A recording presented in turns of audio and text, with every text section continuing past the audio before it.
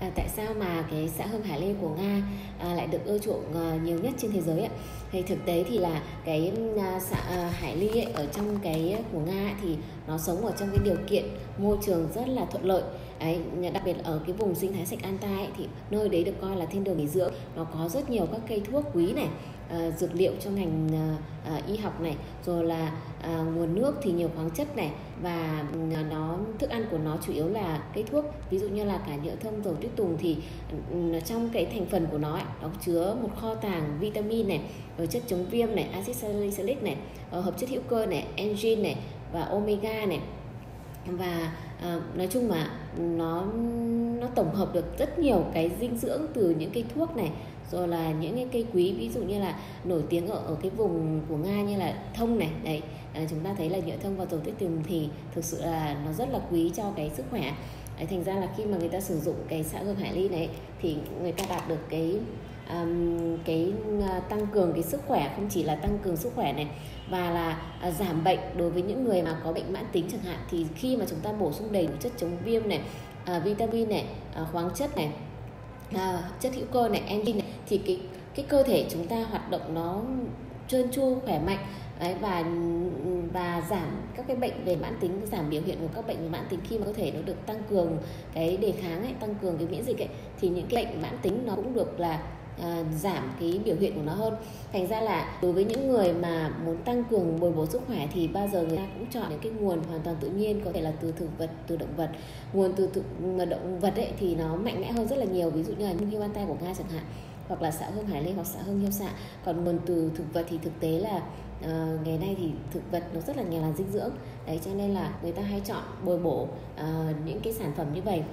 và ở Facebook thì cái xã hương Hải Ly vẫn được là rất nhiều khách hàng ưa chuộng ạ. À, các bạn có thể dùng ở dạng là à, ngâm mật ong. Đấy à, xã hương hải ly này ngâm với mật ong vì mật ong an tay của nga rất là tốt. Ngoài ra thì chúng ta có thể dùng ở dạng viên. Đấy dạng viên như thế này thì một cái hộp của nó là đóng gói là 60 viên ạ. Đấy hoặc là chúng ta có thể dùng ở cái dạng là à, ngâm rượu vodka đấy phe phúc thì thường thường là nhập theo uh, cái nhà sản xuất mà đã được cấp phép ạ. Và uh, chỉ ở dạng là đã chế biến sẵn bởi vì họ như thế thì họ sẽ đảm bảo cho mình về chất lượng và cũng như là cái độ trung thực của sản phẩm. Còn thường thường là không bán theo túi bởi vì thứ nhất là túi thì nó có thể là làm giả hoặc là à, hoặc là cái thời hạn nó à, để quá lâu rồi ấy, thì chúng ta không đảm bảo cái chất lượng cho việc là sử dụng ạ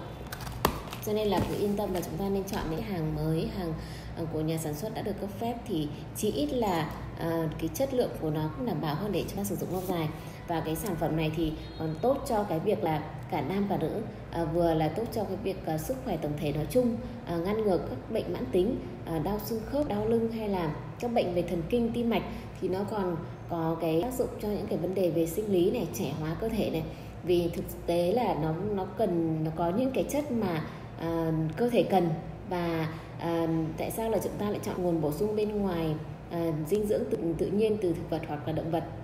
Là bởi vì ấy, nó sẽ có cái độ tỷ lệ hoàn hảo tự nhiên của các cái chất mà uh, vitamin khoáng chất omega hoặc là chất chống viêm chất khử trùng ấy hoàn với một cái tỷ lệ tự nhiên hoàn hảo nó sẵn có rồi. Còn nếu mà chúng ta mua các sản phẩm tổng hợp cân đo đong đếm ấy thì nó có quá nhiều phụ gia và liều lượng không kiểm soát được đấy thành ra là nó uh, nó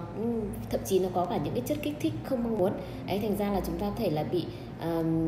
uh, sức nặng cho gan thận là một này hai nữa là tác dụng phụ này ba nữa là chúng ta bị gây nghiện và và gây phụ thuộc này. Cho nên là chọn uống bồi bổ sức khỏe hay là hay là ngăn ngừa các bệnh mãn tính hoặc là giảm biểu hiện của các bệnh mãn tính ấy, à, trẻ hóa cơ thể ấy, thì chúng ta nên chọn các nguồn tự nhiên. Đấy có thể là các nguồn từ thực vật thông tuyết tùng hay là các nguồn từ động vật như những hiêu hay sao hải hay hiêu xạ hay là các khoáng chất hữu cơ như là đá khoáng Shanghai hoặc là Shilahit của Nga thì đều là nguồn rất là tốt ạ. Thì các bạn thể tham khảo trên trang của Facebook ạ, để có những cái sự lựa chọn rất là tốt cho cái sức khỏe của mình ạ.